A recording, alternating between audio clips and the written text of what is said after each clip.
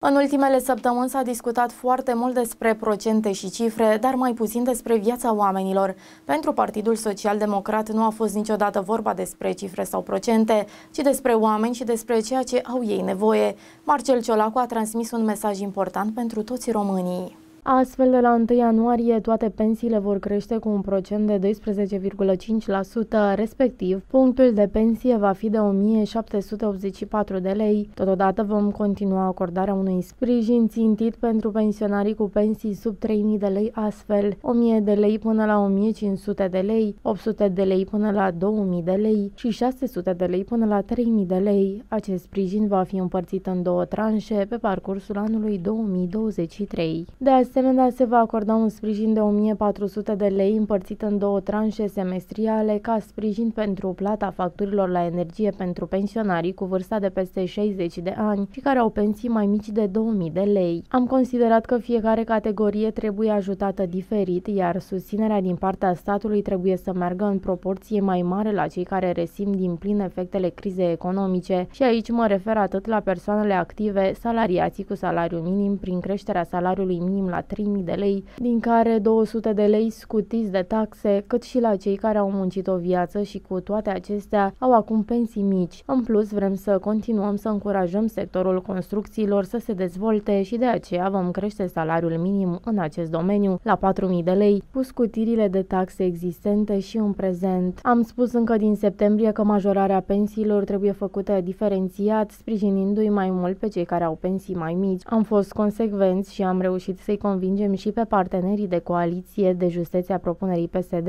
a transmis Marcel Ciolacu. În plus, persoanele cu venituri de până la 1700 de lei vor primi carduri pentru alimente în valoare de 250 de lei, o dată la două luni pe tot parcursul anului 2023. În ceea ce privește protejarea persoanelor cu handicap, se va acorda cea de-a 13-a indemnizație. Totodată se va actualiza cu rata inflației indemnizația pentru veteranii și văduvele de război. Aceste indemnizații indemnizații fiind înghețate din anul 2018, creșterea fiind de aproximativ 30%. De la 1 ianuarie 2023, alocațiile de stat pentru copii vor fi indexate cu rata inflației.